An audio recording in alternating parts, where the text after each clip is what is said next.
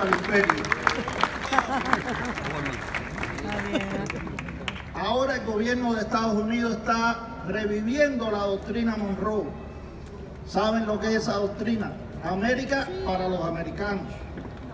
Dicen que tiene plena vigencia.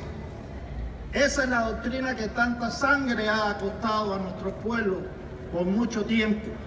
Es la que se invocó para saquearnos, para invadirnos, para ocuparnos militarmente, para apoyar las brutales dictaduras en este continente, para desaparecer a las personas, asesinarlas, torturarlas, en nombre de la democracia. Y ahí lo denunciamos. Ahora se construye un muro y se militariza la frontera con México, al que habrían despojado ya antes de más de la mitad de su territorio.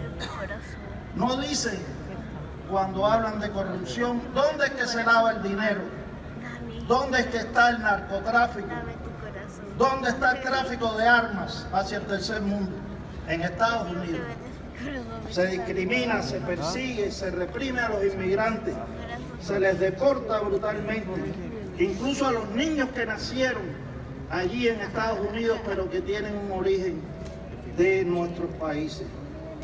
Se aplica por otro lado un proteccionismo comercial despiadado que al final repercute en contra de nuestras economías. Cuba también denunció que debido a la explotación y el subdesarrollo somos en América Latina la región más desigual del mundo. Unos pocos, como consecuencia de la conquista, del colonialismo y después de la explotación capitalista e imperialista, tiene la mayor parte de la riqueza cuando la mayor parte del pueblo sufre privaciones, no tiene acceso a la educación y a la salud gratuita,